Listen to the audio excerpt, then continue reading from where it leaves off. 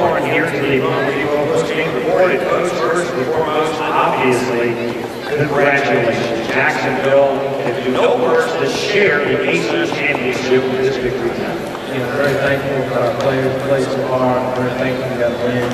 I'm very, very thankful for fans that came out. Fans What a night. Great, great crowd. So very thankful we got this win. Got. You know, obviously, the exclamation point on the evening, the alley-oop, and, and, and then later the Travis Hunt breakaway for the 360 jam, that really kind of, it, it showed about 6,500 people in here, what some of them may have been missing.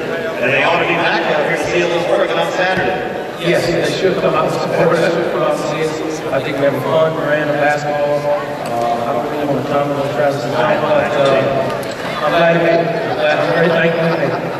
That is a good thing to make. And and defensively, we really turned up the intensity, creating 21 turnovers, and a guard like Jannard Hartley leading the nation, and or the nation, leading the conference in. When you can turn Jannard Hartley over nine times, you have played a heck of a defensive game. Again, part of our game plan was just to put some more pressure on him and locate Lauren Murphy as their main shooter. We wanted to make those guys finish at the rim, but again, I'm just very, very thankful. we got it. Well, and talking about a defensive effort as we take care of Murphy, hit the only two trays that Campbell had for the entire ball game.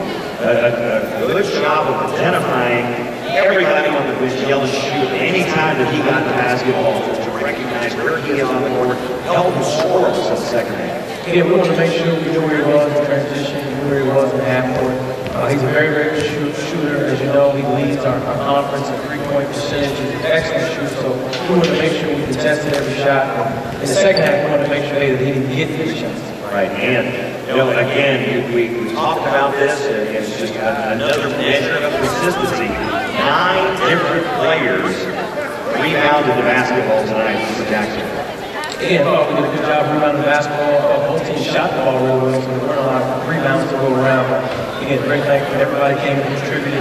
Uh, just the rebound, but as you said, uh, I thought the energy level was infectious. I thought the guys were yelling and screaming about what calls were being made, uh, what plays were being called. Again, that's how we're going to have to play for this to you, it seemed to be a, a, a little bit of a different team emotionally that came out of the second half, that came out of the locker room. And, and you know, we go on a 19 to 4 run to, really, to obviously flip the thing and take over the lead, and a, and a lead that we were able to extend to 15 at one point. It, it seemed like we took everything to a different level with energy, with excitement, and with confidence. We've got some good leaders on this team. Uh, before I even had the locker room talk, they had already said what I was about to say. So again, we got some very, very good leaders, and we got some good listeners on the team. A lot of times we have leaders, nobody listens. We got some good listeners on this team.